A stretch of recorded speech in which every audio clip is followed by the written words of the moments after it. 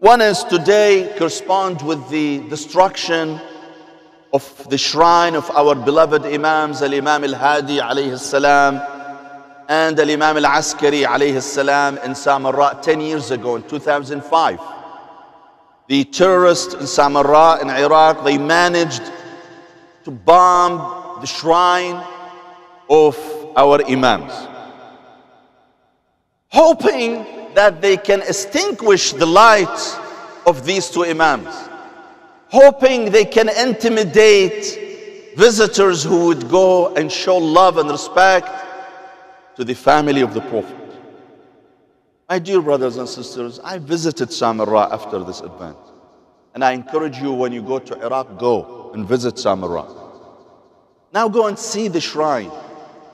It is much bigger, much beautiful, and more splendid than ever, with a bigger dome, with a bigger base and backyard and courtyard.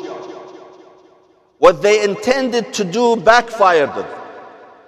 Now people go in droves, defying all odds, including terrorists themselves.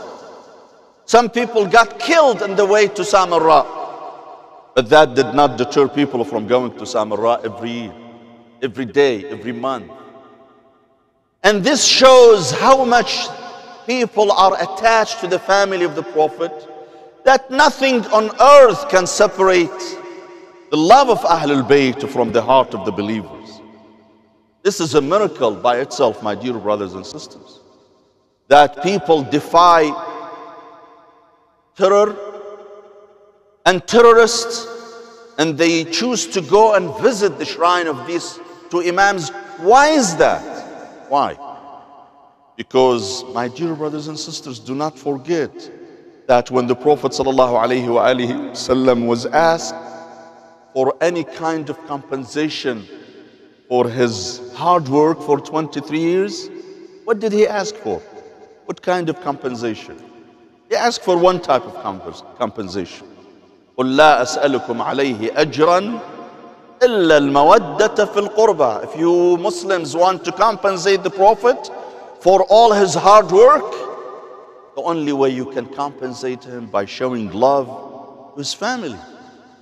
And Muslims will continue to show, to show love to the family of the Prophet and to the Prophet wasallam by visiting the shrine of those great Imams alayhi salam.